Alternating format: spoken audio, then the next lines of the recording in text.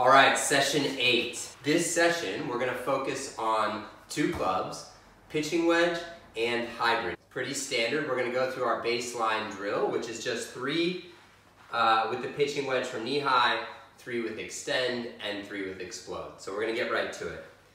First one, brace the trail leg, set the handle forward, turn, turn. Remember, it's the whole body that's turning. It's not just the shoulders going back and through, it's the whole body.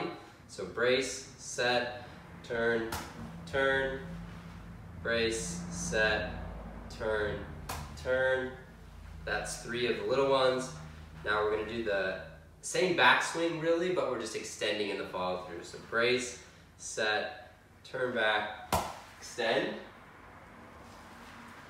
brace, set, turn, extend.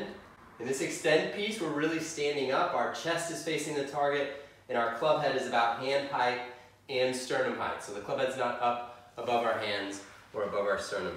Last one with the extend, brace, set the handle, turn, extend. Okay, now for the explode. Again, brace the trail leg, set the handle forward, turn back, and explode. And really we're just trying to feel the explosive power from about right here through impact and beyond. So second one of explode, brace, set, turn, explode. Final one of explode, brace, set, turn, explode.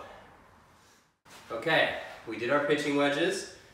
We are back on track. We should feel a lot like we did in our last session really comfortable, and now we're moving to hybrid. We're just gonna do the same three size swings, and we're just gonna try to get the exact same sensation that we got with the pitching wedge. With the hybrid, I'm set up for solid contact when the shaft is pretty much vertical or maybe just slightly forward.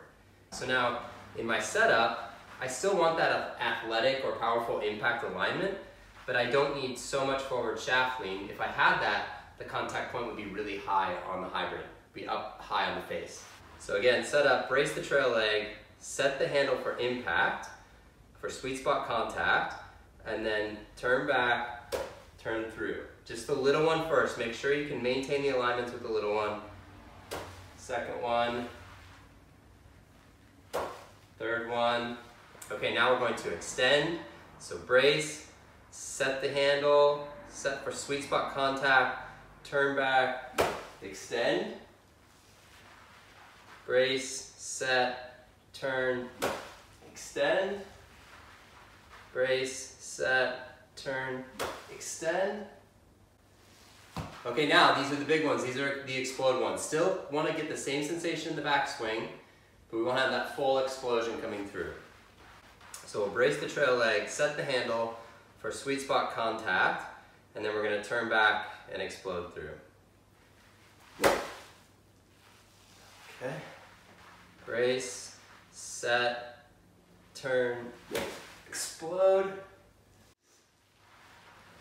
Brace, set, turn, explode. Just because I have this hybrid in my hands now, I can feel myself want to swing harder in that little extend swing. Whereas with the pitching wedge, in the extend swing, I don't feel like I need to swing hard. I'm just trying to extend and move with the club in the through swing.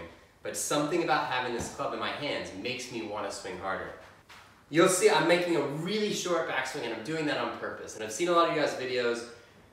The backswing still, for a lot of you guys, is too long, meaning you're going back to about here with your hands and arms and then a little bit of wrist hinge, club's getting a little high.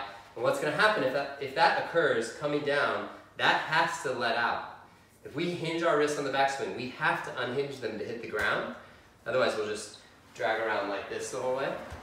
So if we're unhinging it and the club's hitting the ground, we are definitely going to see a really high club head and low hands in the finish. If we're maintaining the alignments, or if we haven't broken them on the backswing, we maintain them going back, we maintain them going through, we can maintain them a lot longer on the through swing. All right, guys, awesome session.